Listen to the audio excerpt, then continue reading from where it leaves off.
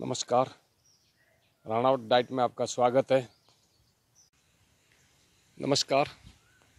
आज आपको बताएँगे सेक्स फेल्योर और सेक्स फेल्योर होने के बाद उसके कारण में कैसे बदलाव लाएँ ताकि उस फेल्योर के अंदर जो आई हुई हीनता है, वो हीनता में सफलता कैसे प्राप्त करें? ये जानने से पहले अगर आप मेरे चैनल पर नए हैं, चैनल सब्सक्राइब करें, वीडियो लाइक करें और अधिक से अधिक शेयर करें ताकि सेक्स फेलियर को एक आशा की किरण मिल सके और उनके अंदर जो छुपी हुई ऊर्जा है, उनके अंदर जो वो जोश है, वो दबा हुआ है, वो वापस बाहर निकल सकें।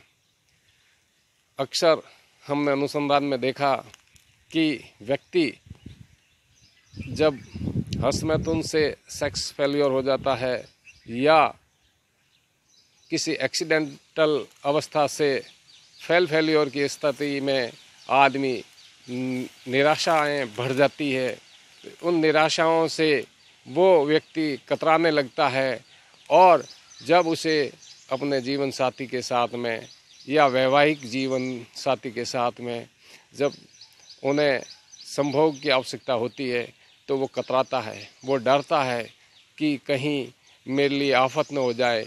एक हीन भावना आ जाती है और हीन भावना की वजह से वह व्यक्ति, आदमी अपने आप को कोसता रहता है और जी चुराता है, आँखें चुराना शुरू कर लेता है। कुछ लोग कामराज की तरह अति रति को भोगे हुए होते हैं, पर उन्हें ये अब डर सताने लगता है कि कहीं किसी रति ने मुझे बुला दिया तो क्या होगा? मेरी बेइज्जती होगी। इस प्रकार से वह आदमी हीन भावनाओं में रहता है।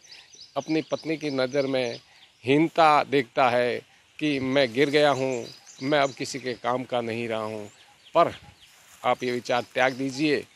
आपको खोया हुआ विश्वास हम देंगे, आपकी खोई हुई जवानी हम देंगे, आपका सेक्स फेल्योर हम पास करेंगे। जिसके लिए आपको व्हाट्सअप करना पड़ेगा। बाकी नहीं। आप निराशा से उभरिए। आप स्वयं को उभरना पड़ेगा।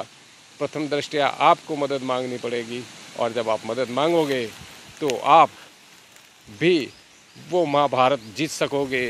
आप उस कृष्ण से उपेक्षाएँ बजाय आशाएँ करेंगे कि ये कृष्ण, मुझे रास्ता दिखा। जिस प्रकार से अर्जुन नपुशंक रहा था एक साल ब्रह्मा, ब्रह्मला बनकर और अर्जुन ने जब उपदेश सुना तो वो उस काउंसलिंग से, उस उपदेश से फिर उस महाभारत को जीता।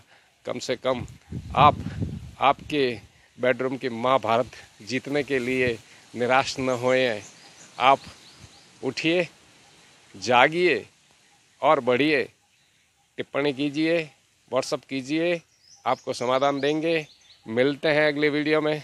तब तक जय हिंद, जय श्री कृष्ण।